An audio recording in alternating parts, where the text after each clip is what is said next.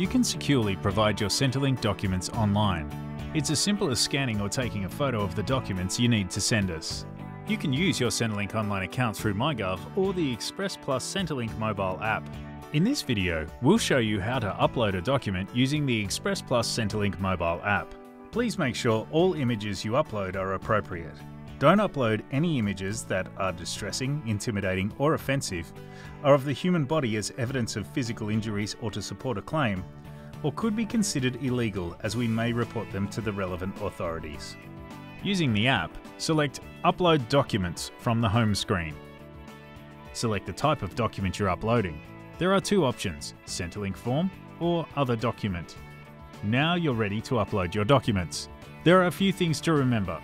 You need to upload one document at a time. The total size of all files for each upload must be less than 10 megabytes. You can include up to 10 files for each upload. If you're uploading a Centrelink form, you'll need to enter the form title and code. The title is at the top of your form and the code is at the bottom.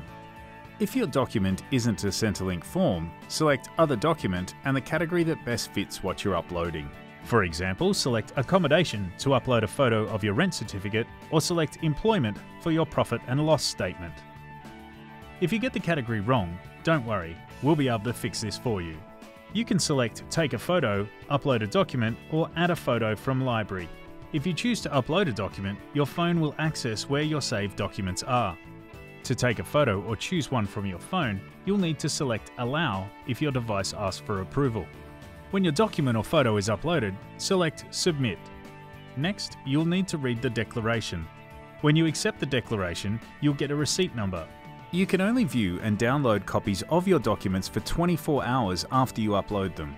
Please keep copies of your uploaded documents if you think you'll need them in the future. Select Finish.